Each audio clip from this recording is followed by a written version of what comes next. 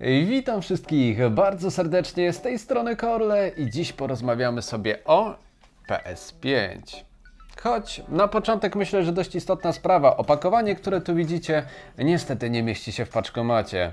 I żeby nie było, sprawdziłem to osobiście. Dlatego zamawiając swoją konsolę, aby wszystko przebiegało bez problemów, czy też próby udowodnienia przez kuriera, że a jednak się zmieści, polecam wybrać inną metodę dostawy. Chociaż przypuszczam, że jak ktoś pisze rozmiary, to i tak nie wyślę tej paczki. Jak widać, większy nie zawsze znaczy lepszy.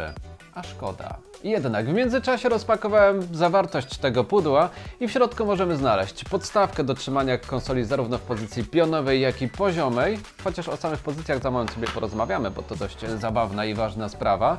Do tego przewód zasilający, standardowa ósemka, przez niektórych nazywana jamnikiem, USB-C do podłączenia pada z konsolą czy też ładowania, a także HDMI 2.1 dla wszystkich tych, którzy chcieliby puścić sygnał 4K 120 klatek bądź 8K 60.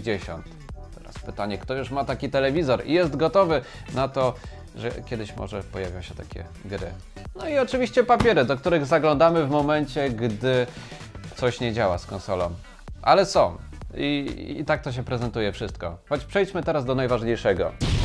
Przechodząc do konkretów na początek, coś na temat czego podobno się nie dyskutuje, a mianowicie wygląd nowej konsoli, ale myślę, że podzieli ją graczy zarówno na tych, którzy będą zachwyceni z samej bryły czy też wielkości, jak również tych, którzy będą mieli nie lada wyzwanie, żeby skrzętnie umieścić ten sprzęt pośród dotychczasowych urządzeń pod telewizorem. Jedno jest pewne, nie da się PS5 nie zauważyć i być może taki był właśnie zamysł twórców, gdy projektowali to urządzenie. Z mocnych stron przyznam, że tworzywo bocznych paneli wygląda na solidne i jest przyjemne w dotyku. Co więcej, sam projekt świetnie wykorzystuje delikatne podświetlenie i wygląda to bardzo schludnie. Jedyne obawy budzi ten czarny środek. No, z jednej strony prezentuje się ładnie, ale z drugiej przyznam, że mam obawy, czy nie będzie na nim widać odcisków palców, czy tym bardziej czyszcząc go nie dorobimy się kilku dodatkowych rys. Choć ostatecznie myślę, że dość szybko doczekamy się naklejek czy też nakładek firm trzecich, które jeszcze pozwolą dodatkowo spersonalizować naszą konsolę. Obiecałem jeszcze małą ciekawostkę na temat pozycji konsoli. Domyślnie, gdy ta pracuje w poziomie, powinna być skierowana napędem w dół, tak jak widzimy to teraz, i nie powoduje to żadnych dziwnych sytuacji.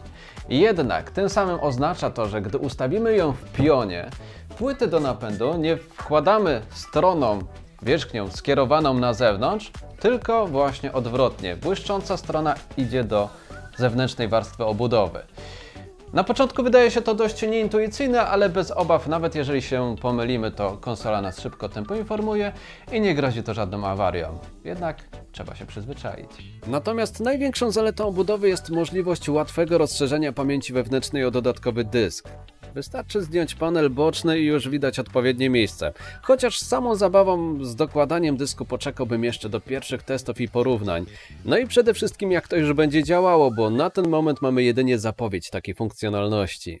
Pytaliście często o głośność konsoli pod obciążeniem w stosunku do PS4 Pro. No i muszę przyznać, że jest tu zdecydowanie lepiej. Konsola wydaje jedynie lekki szum wentylatora, choć skłamałbym, gdybym powiedział, że jest zupełnie bezgłośna. Z odległości dwóch metrów w idealnie cichym pokoju no, będzie już ledwo słyszalna. Zresztą zróbmy małe porównanie z odległości około 20 cm. I nie pytajcie mnie, jak ją zmierzyłem.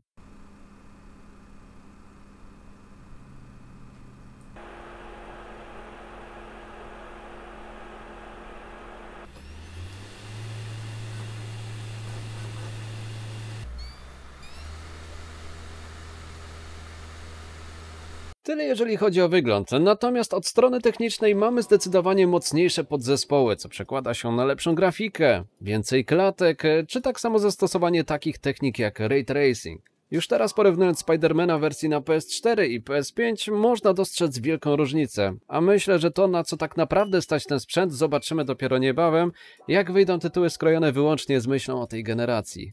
A teraz gwiazda naszego spotkania, nowy pad DualSense, który myślę, że zaraz za tytułami na wyłączność może być głównym powodem wyboru platformy PS5 ponad wszystkie inne dostępne.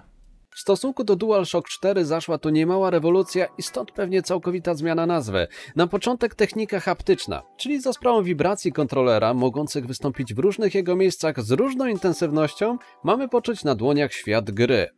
Brzmi fajnie.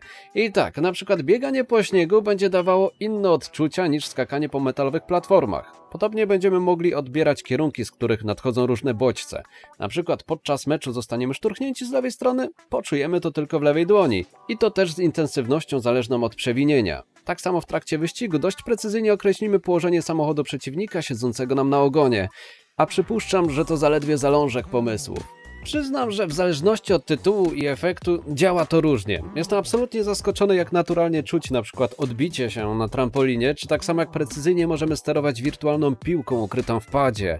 Z drugiej strony, tak często reklamowane bieganie po różnych twardych nawierzchniach nie sprawia tak dużej różnicy i sprowadza się jedynie do innej częstotliwości drgań pada. W ślepym teście miałem problem stwierdzić, czy biegałem po metalowym blacie, czy może jednak po szkle. Gdyby nie efekty dźwiękowe, to pewnie bym nie zgadł. Więc jak widać jest to duże pole do popisu dla deweloperów, które jednak jeszcze muszą nieco lepiej poznać. Ostatecznie nie zmienia to faktu, że jest inaczej, jest ciekawie, choć to w czym tak naprawdę się zakochałem to adaptacyjne triggery. Myślałem, że będzie to standard obecnej generacji niezależnie od konsoli, a okazuje się, że tylko Sony porwało się na ten pomysł i jak dla mnie jest to strzał w dziesiątkę. Na czym polega cała zabawa? Już tłumaczę. Za sprawą silniczków wbudowanych w spustę L2R2 możemy poczuć opór w trakcie ich naciskania. Nie mam na myśli tutaj delikatnego powstrzymywania palca, a praktycznie możliwość całkowitego zablokowania użycia triggera. Oczywiście moc nacisku jest zależna od sytuacji. Na przykład w najnowszym Call of Duty w zależności od wielkości broni spust L2 czyli zazwyczaj ten odpowiedzialny za podniesienie sprzętu, może wymagać delikatnego nacisku przy małym pistolecie, ale przy użyciu strzelby zabawa wygląda zgoła inaczej. Podobnie sytuacja wygląda ze spustem R2, gdzie tu możemy napotkać różny sposób działania i to nawet w takiej formie, gdzie czujemy lekkie podbicia palcem przy serii z CKM-u. No coś obłędnego i przyznam, że pierwszy raz chciałem grać w shootera bardziej na padzie niż na myszce i klawiaturze. Choć trzeba przyznać, że przy dłuższej sesji palce mają naprawdę niezły trening, co też może czyni PS5 idealnym prezentem dla swojego partnera. Albo też i partnerki. Swoją drogą coś czuję w kościach, że w najbliższych latach dość popularne będzie zacinanie się broni w grach ekskluzywnych od Sony. Zastanawia mnie też wytrzymałość tego rozwiązania, szczególnie u maniaków FPS-ów ale na ten moment to wróżenie z fusów i na szczęście gwarancja pozwala spać spokojnie. Z innych zmian w kontrolerze usunięto panel z diodą, który jak pamiętam premierę PS4 część wyłączała czy też zaklejała. Mamy natomiast subtelne podświetlenie nawiązujące poniekąd do projektu konsoli.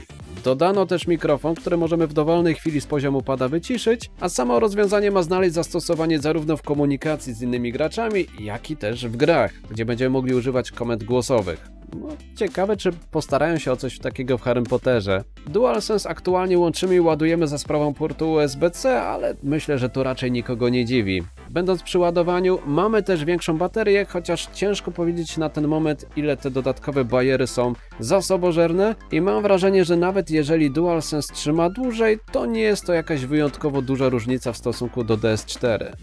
No ale przede wszystkim, czy jest w co grać na start konsoli, czy mamy sytuację podobną jak przy premierze PS4, że dwie gry plus parę indyczków i jakiś tytuł free to play. No tu sytuacja wygląda zupełnie inaczej i zdecydowanie mamy co robić, ponieważ większość tytułów multiplatformowych wychodzi już z myślą o PS5, do tego mając niejednokrotnie ulepszenia jak wspomniana obsługa pada, czy też lepsza grafika, Call of Duty, Watch Dogs, za chwilę Cyberpunk, albo pomijając nawet gry multiplatformowe, to również w tych wydanych z myślą o PS5 każdy znajdzie coś dla siebie, bo mamy tu dla najmłodszych i nie tylko. Sackboya, dla każdego praktycznie nowego Spidermana, a dla hardkorowych graczy to polecam Demon's Souls. Co więcej, jest to też świetna okazja, żeby nadrobić zaległości z PS4, jeżeli ktoś jakieś ma, bo konsola oferuje wsteczną kompatybilność działają nawet płytki z PS4, więc ogromny rynek gier używanych.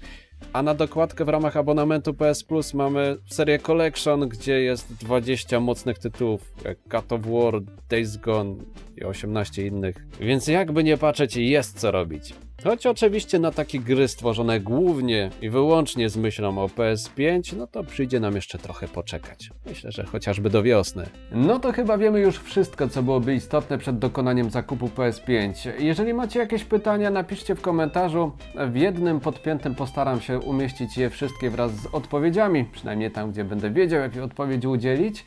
Niebawem widzimy się w kolejnym materiale, tym razem poświęconym akcesoriom dostępnym dla konsoli PS5. A tymczasem dzięki za to, że jesteście, dzięki za to, że testujemy razem gawędziu z Wami Korle. Trzymajcie się. Hej, hej!